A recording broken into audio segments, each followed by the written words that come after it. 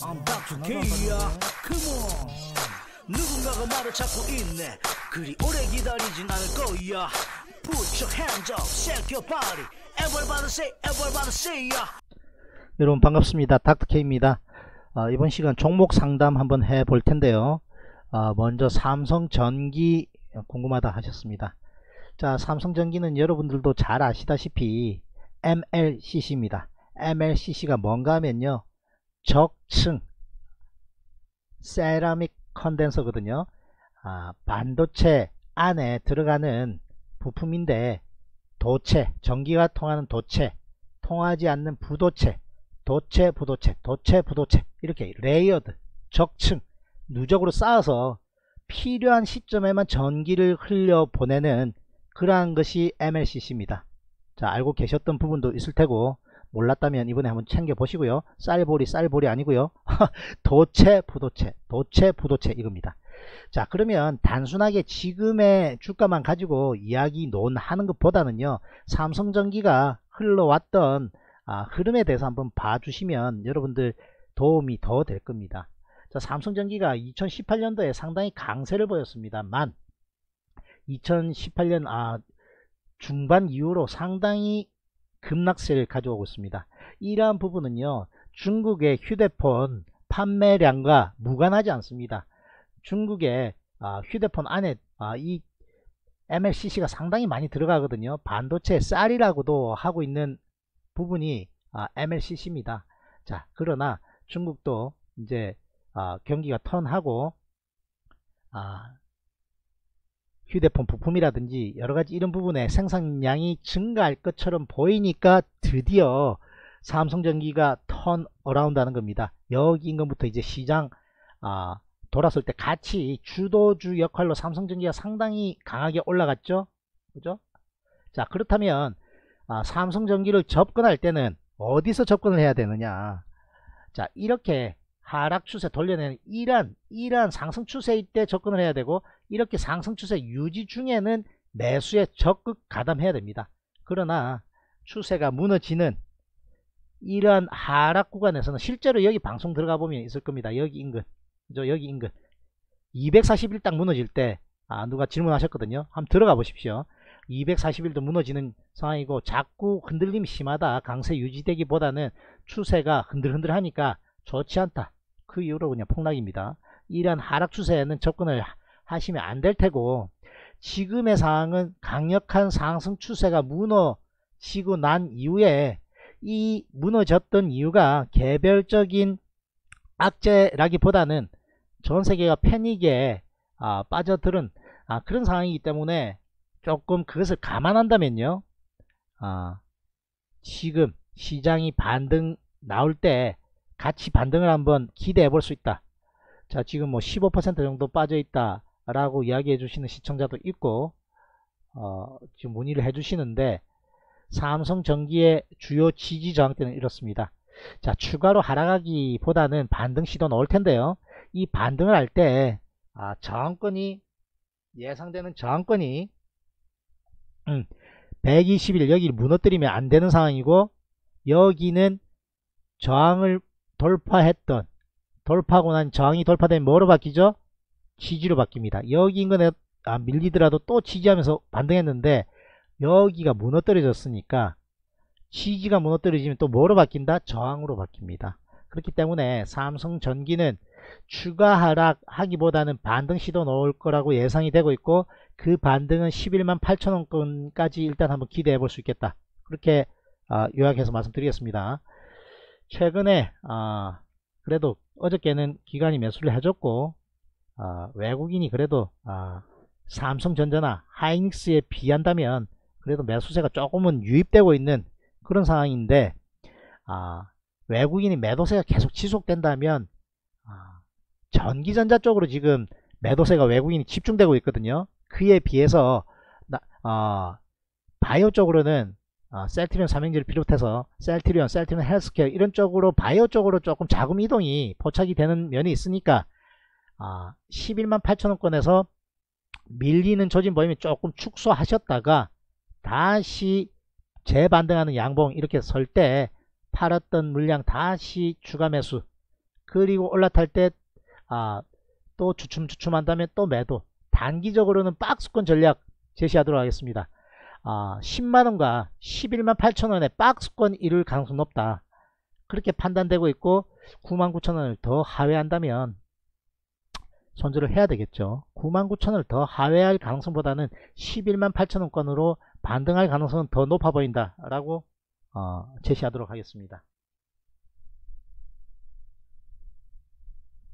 자 그리고 LG 이노텍도 말씀해 주셨고 음, 그리고 두 번째 DPC 자 DPC는 어, 방탄소년단하고 많이 연계가 돼 있었죠. DPC 매수 단가가 7250원이라 하셨습니다. 7250원이면 자 여기 자 여기 양봉 지점에 매수했다. 1번. 여기 양봉 지점에 매수했다. 1번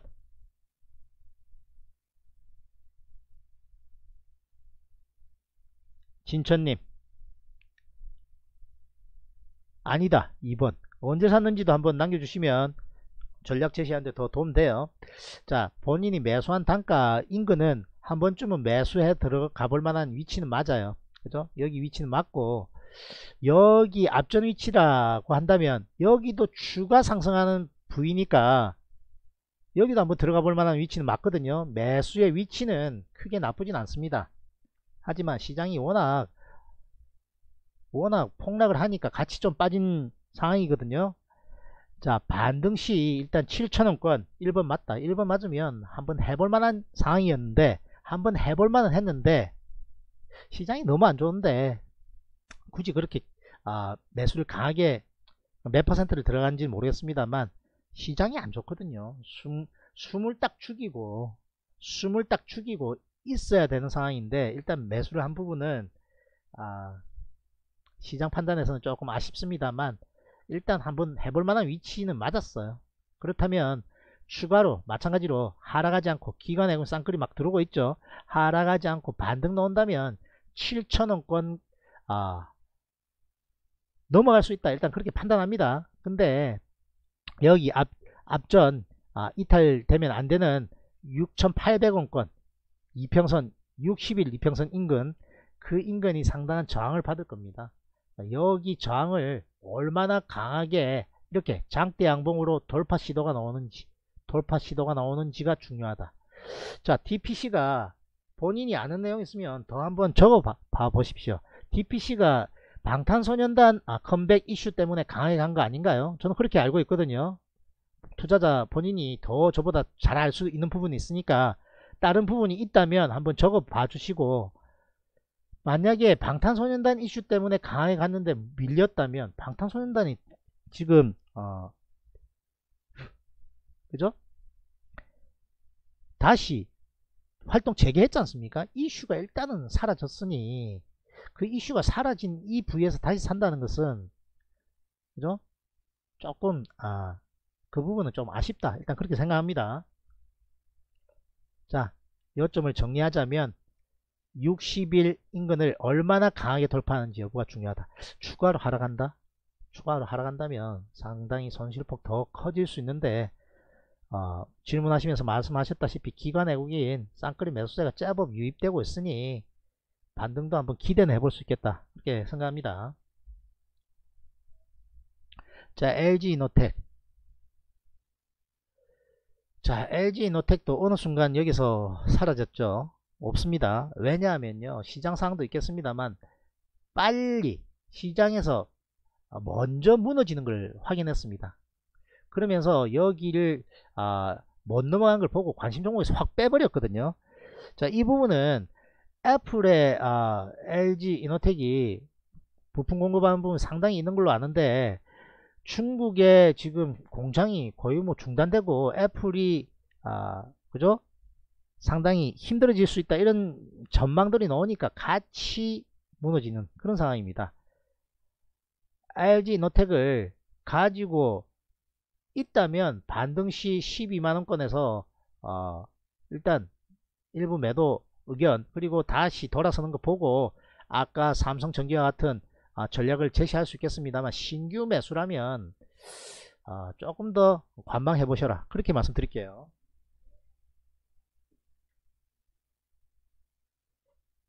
지금 현재 아, 전망이 휴대폰 쪽으로는 조금 더 관망을 한번 해보자. 저는 그렇게 판단하고 있습니다. 자 그럼 어디 어디로 관심 가지자 5G입니다. 휴대폰 많이 올랐고요. 휴대폰 부품 관련해서 휴대폰 부품에 관련해서 많이 상승했고 여기 한번 보실까요? KH바텍 좀 더 길게 봐야 좋습니다. 자 닥터K가 2019년 12월 30일 날 마무리하면서 아, 많이 올랐던 아, IT 정, 아, 휴대폰 부품주들 조금 주춤할 수 있고 아, 그 바톤 이어받아서 5G가 갈 것이다. 이렇게 지금 예측을 했거든요. 그래서 어, KMW가 어, 1월 2일 첫날 12% 가는 그죠? 그런 기염을 더했는데 시장이 무너지니까 같이 무너졌습니다만 다시 5G 쪽으로 매수세가 들어오죠. 아까 방송에서 말씀드렸던 논리하고 틀린 부분이 있나요? 하락 추세에 돌려내는 RFHIC 같은 종목들 강하게 가지 않습니까? 5G에 관심을 휴대폰보다는 더 가지셔라. 이 보십시오. HFR 이런 다 우상향 유지하면서 5G가 상단에 3개 종목 정도는 관심이 있습니다. 나머지는 밑으로 다 꼬꾸라져요. 이야기 안 합니다. 이야기 안 합니다. 그죠? 자 그렇다면 KMW도 공매도에 상당히 시달리는 공매도 과열 종목에 아, 제법 수시로 아, 지정이 되는 종목이거든요. 그렇다면 공매도가 이제 한풀 꺾이면 KMW도 키 맞추기 형식으로 6만원권까지 반등 한번 기대해 보겠다 한 번에는 가기 힘들겠습니다만 이런 또 KMW와 같은 종목 피를 받으면 10%씩 막 날라다니는 종목 중에 하나거든요. KMW도 한 5만원권을 얼마나 강하게 돌파하는지 여부가 중요하다. 그렇게 볼 수 있겠습니다. 자 큰 맥락은요 휴대폰 부품보다는 아, 시장에 아, 모멘텀이 좀 발생한 5G 쪽으로 좀 더 관심 가져보셔라. 그렇게 말씀드리겠습니다. 자 올리브님이 메탈라이프 메탈라이프 2042원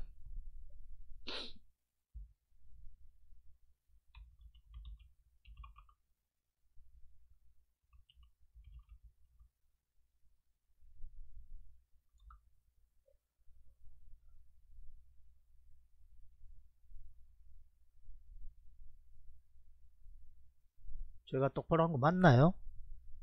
2만 420원입니까 혹시? 2만 420원이에요 2042원이라 해가지고 없는데요 2만 420원 같은데요 맞습니까? 응.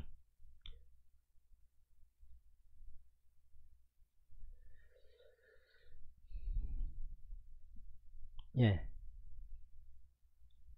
자 일단 어, 신규 상장 어, 한지 얼마 안 됐고요. 자 중요한 여기 16,000원권이 무너졌습니다. 그래서 어, 물론 다시 좀 어, 회복하려는 시도는 나왔으니 그나마 다행이고요. 여기가 상당히 중요한 권역이 될 수 있겠죠. 여기. 자 무너뜨리려다가 다시 반등 조짐 나오니까 어, 추가 반등은 한번 기대해 볼 수 있겠습니다. 하지만 아, 여기 18,000원 무너지면 안되는 여기 18,000원권도 상당한 저항의 역할을 할 것 같고요. 그것을 뚫고 올라간다 하더라도 2만원권에 상당한 저항이 예상되고 있습니다. 여기가 상당한 저항권이에요. 그러니까 어, 기관 외국인 별로 관심 없는 종목, 종목군이고요.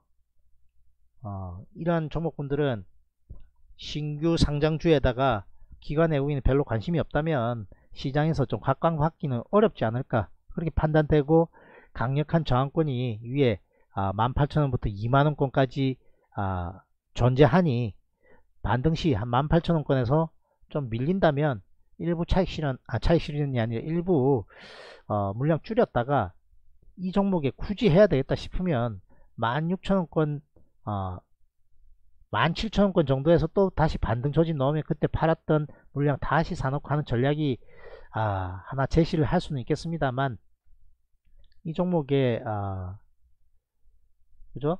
전망은 그렇게 좋게는 보여지지 않습니다. 죄송합니다만 자, 이러한 상황이 나온다면, 이러한 상황이 나온다면 또 문제는 달라져요. 강하게 양봉 시연하면서 여기 2만원권 인근까지 강하게 간다면, 아, 모르겠으나, 자, 여기가 이렇게 상당히 공방이 있었던 지역인데 한 번에 이렇게 치고 갈 수 있을까? 라는 생각은 아, 확률이 조금은 떨어진다. 그렇게 판단합니다. 그러면 정리할게요. 강하게 이렇게 여기 부위를 저항을 돌파 시도 나온다면 더 홀딩. 그렇지 않고 자꾸 여기 인근에 저항을 받는다면 비중 축소하시기를 권유 드릴게요.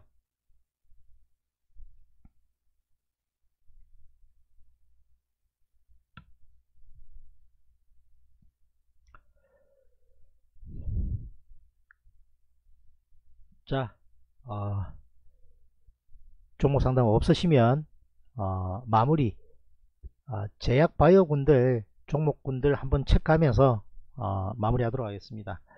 자, 셀트린 삼형제가 어, 이제 공매도 어, 금지 어, 때문에 반등을 과연 얼마나 강하게 할 것인가 추후 기대가 좀 되고 있고요.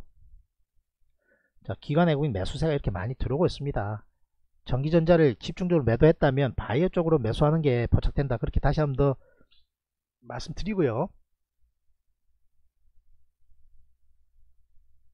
그동안에 바이오주의 발목을 잡았던 부분이 실적이 뒷받침이 안 된다 라는 부분이었다면 셀트리온과 셀트리온 헬스케어, 셀트리온 제약은 실적이 이제 뒷받침되니 그 논리는 사라졌으니 매수에 들어올 수 있는 모멘텀은 발생했다. 그렇게 판단합니다.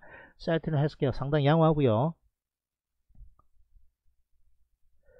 자, 셀트리온 제약은 추세가 많이 무너졌습니다. 빠르게 아, 반등 시도 나오는 것이 상당히 중요하겠습니다. 알테오젠 같은 종목도 아, 아마케 아, 미뤄지는 그런 비분, 부분들 때문에 4월 28일입니까? 원래 25일부터 29일까지인가 예정이 됐었는데 연말로 연기가 됐거든요. 그래서 바이오 종목들도 상당히 데미지를 좀 입고 있는 그런 상황인데 그 부분은 그죠? 뉴스에 가까운 이슈 아닙니까? 실적이나 이런 부분 아니고 알테오젠 물론 아, 기술 이전에 대한 아, 추라이가 계속 이루어진다 하면서 아, 상당히 급등했던 종목인데 6만원권에서는 지지 않아요. 그렇다면 추가로 60일 권역인 7만 5천원 여기 권역을 얼마나 강하게 돌파하는지가 중요한데 돌파해도 8만 5천원과 9만원권에 상당한 저항 예상된다. 만약에 저기 위에 상당히 고점에서 물려 계신 분이라면 어, 반등 시 매도하는 것이 좋겠다 그렇게 생각합니다. 초강세 움직이던 종목이 무너졌으니 반등 넣을 때 빠져나오고 다시 만약 이 종목을 굳이 해야 된다면 늘려줄 때 60일 치주권이나 이런 부분에서 다시 추가 매수 어, 하는 전략을 제시하도록 하겠습니다. 자, 오르다님 반갑고요. 자, 셀리버리도 수직 낙합니다. 잠깐만요. 마우스가 왜 자꾸 이상하죠? 자, 정근당 바이오도 확 무너졌고요. 유한양행도 아, 강하게 반등 나오다 그대로 무너졌습니다. 휴젤. 자, HLB가 여러가지 지금 이야기가 또 나오고 있습니다. HLB도 자, 공매도에 상당한 시달림을 받고 있는 종목 중에 하나고 HLB도 공매도 어, 규제로 인해서 어, 그게 이슈가 돼서 반등을 할지 한번 잘 챙겨보죠. 그러나 반등해도 10만원권 여기 위로 상당히 강한 저항이다. 이렇게 생각하시면 되겠습니다. 자 헬릭 스미스는 계속 하락입니다. 관심 안 가지시는 게 좋겠고요. 셀 신라젠도 마찬가지입니다. 계속 하락이에요.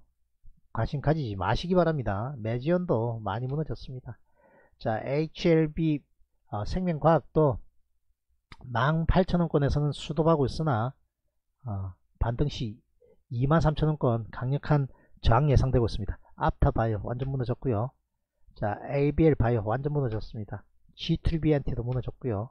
3천당 제약 여기 딱 있거든요. 그죠? 확실히 다르지 않습니까? 추세가 살아있고 강세 보이던 종목은 달라요. 살아날 때. 젠백스도 240일 정도는 지지하고 있으나 추세가 막 무너지는 상황이기 때문에 별로다 이렇게 생각합니다. 자 삼성 바이오로직스 아, 끌어당기는 시도 나오고 있으니 추가 상승한다면 아, 60일 돌파하는 것이 관건인데 분식회계 하고 있으니까 별로 관심 없습니다. 하고 있으니까는 정정합니다. 했던 회사니까. 음. 안미약품도 별로고요. 자, 대웅제약이가 바닥에 상당히 올라오고 있는 상황. 자, 바이오 아, 종목군들까지 한번 챙겨봤습니다. 자, 오늘 어, 방송 두개 업로드 될 겁니다. 이, 이것까지 치면 세 개가 될 텐데요. 어, 공매도 금지의 시장 조성자는 어, 예외 사항이 있다. 이 부분 대해서 한번 어, 짚어봤고요. 아, 그리고 다음 주 업종 대표주 전략 방송 아, 진행해 봤습니다. 자, 여러분들 궁금해하는 종목 상담도 했으니까요. 나중에 한번 다시 한번 돌려보게 하면서 한번 챙겨보시기 바랍니다. 좋아요 좀 눌러주시고요. 구독 안 한 분 계시면 구독 좀 눌러주십시오. 광고 건너뛰기 하면 아무 도움 안 됩니다. 광고 좀 봐주시고요. 추천 방송 올려놓겠습니다. 천천히 한번 돌려보시죠. 전 닥터케였습니다. 내일 아침 8시 50분에 찾아뵐게요. 바이바이! 누군가가 말을 찾고 있네 그리 오래 기다리진 않을 거야 Put your hands up, shake your body Everybody say, everybody say ya